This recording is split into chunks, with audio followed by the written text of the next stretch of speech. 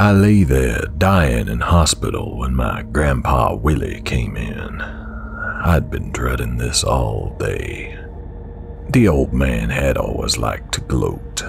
He had gloated when he beat me at a football game as a kid.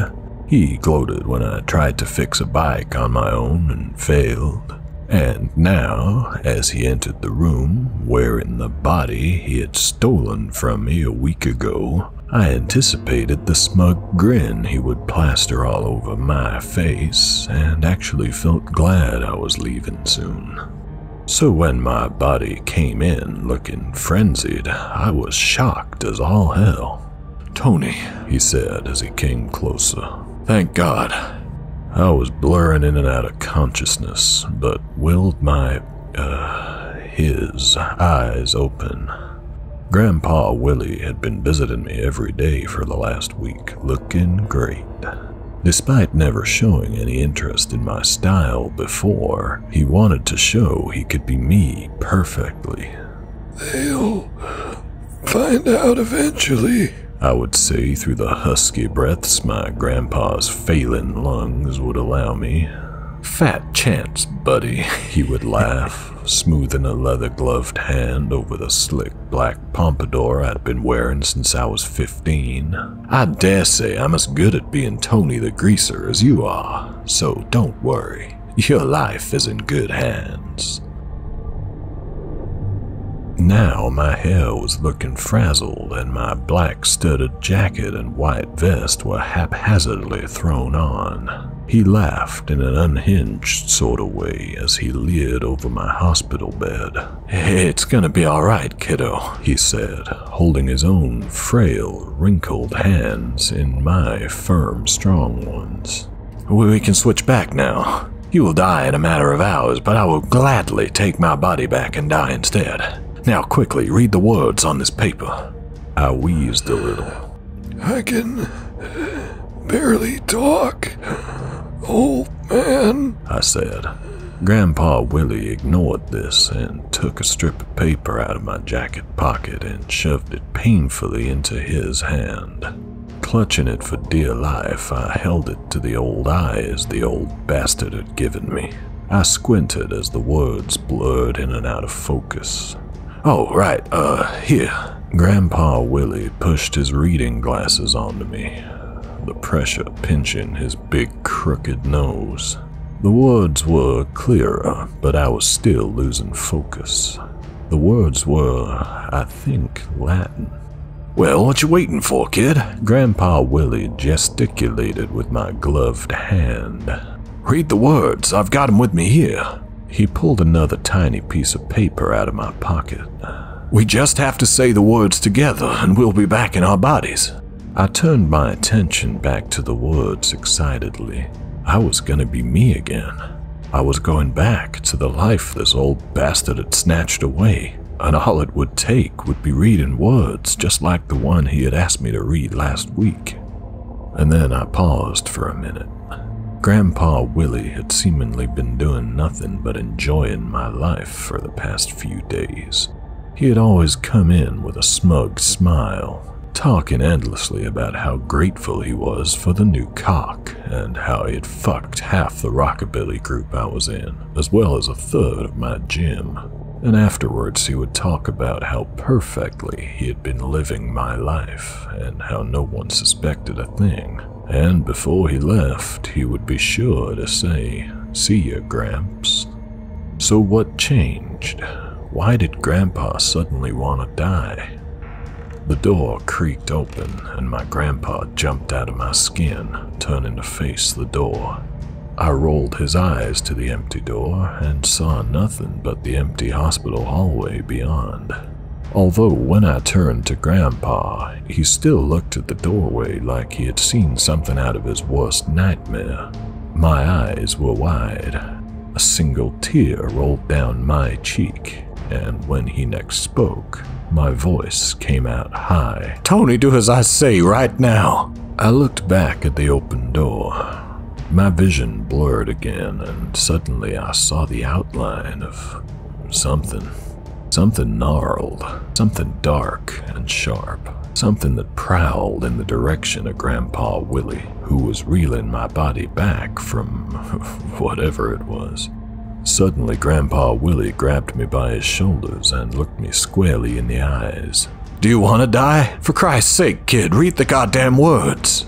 Shaken, I turned my attention to the piece of paper shaken in the frail hands Grandpa gave me and focused as much as possible on reading the lines in between husky gasps and screeching wheezes. Sit in your ears. Amen. Daddy. That's it. Grandpa Willie squeezed his shoulder encouragingly. That's a fella. Now say it again. Sit in. Amandari. We said it together as quickly as we could manage. My borrowed chest was feeling heavier with each passing moment, and it was harder to focus on the words. Grandpa would look behind him and would slap me roughly, waking me up a little. As my vision blurred, I could see the gnarled something raise what looked like a head behind Grandpa, like some horrible distortion of a pirate's parrot. My eyes were getting waterier and more terrified as Grandpa Willie kept repeating the words, my leather gloved hands bruising his frail shoulders. And then, as it seemed like I was gonna die right there, everything went white, and the old man body I had been dying in for the past week melted away. With what I could only describe as a rushing feeling, sensation slapped back all at once. I was sitting on a hospital chair. I was breathing heavily but clearly. My arms and legs felt strong. I looked down to see the gut and man boobs I had all week were no longer there. No, my toned abs and pecs were back. I shot to a nearby mirror in the hospital room and saw myself, a 30 year old greaser, my body looking unkempt and feeling a little fatigued, but it was still my body, still my face with its goatee and pouty lips. I looked clearly through my brown eyes for the first time in a week and breathed a sigh of relief, my own voice clearly coming out. Well done, kiddo. I turned to face the old man who had stolen my body. He wheezed in between hacking coughs, his white face way too pale for his fat body. I realized then how close I had come to death. Grandpa Willie looked like a goddamn emaciated Santa Claus. He reached up a shuddering talon of a hand to me, and I couldn't help it. I backed away. The old man down, his sunken face becoming more sad by the second.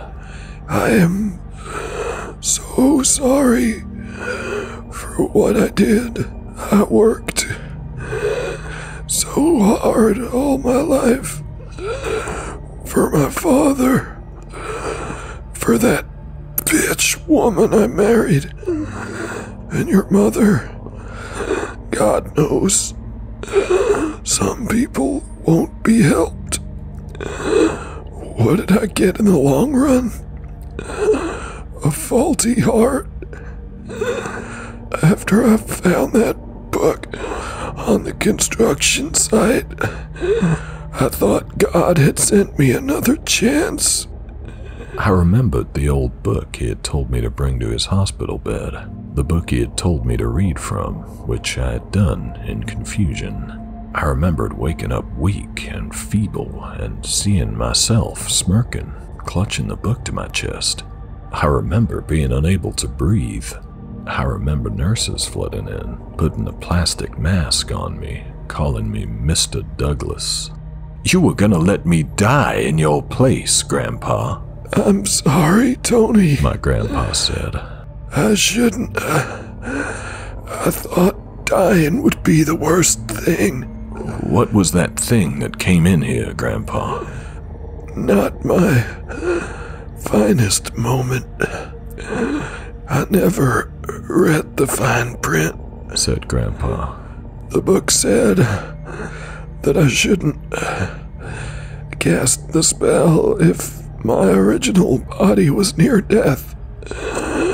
Switching with someone when I was going to die soon was gonna curse my soul.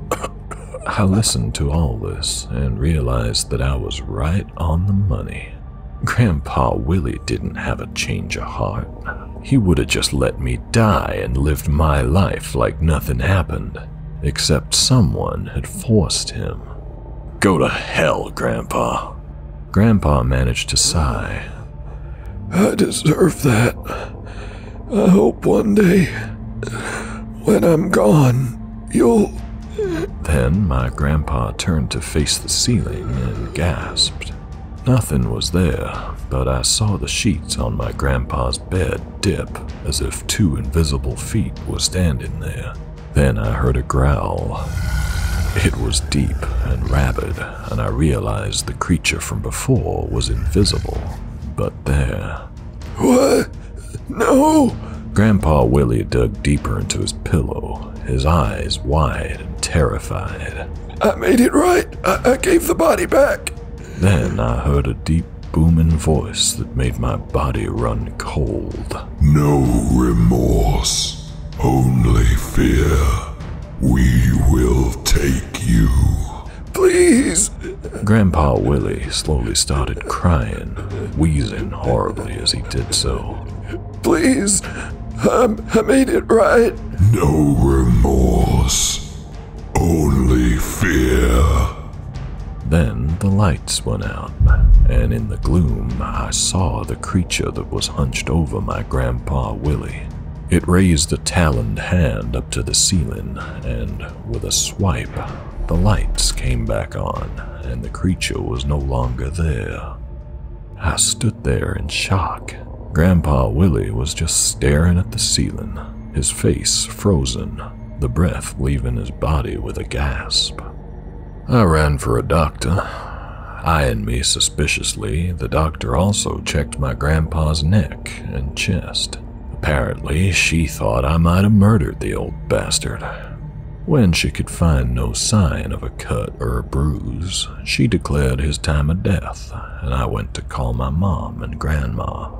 The doctor decided it was best to get my grandpa's body to the morgue before mom and grandma got here. The look of horror on his face might scare them. They wheeled my grandpa away, the doctor still looking suspiciously at me. I found my pack of smokes and my comb in my jacket pocket. I decided to fix myself up before I had a smoke. I went to the nearest bathroom and I wet my comb. Deciding that a full pompadour might be a little too difficult with my shaky hands, I slicked back the sides and styled the top into a jelly roll do. My grandpa had been bald as an egg, and as shallow as it sounds, I'd missed my hair. I had also missed that six pack of mine, and as I pissed into a urinal after doing my touch up, I realized I fucking missed my bladder control. And then, the thought of that creature towering over my Grandpa Willie came into my brain, and I knew that if any of those things went away, well, shit, there were worse things to lose.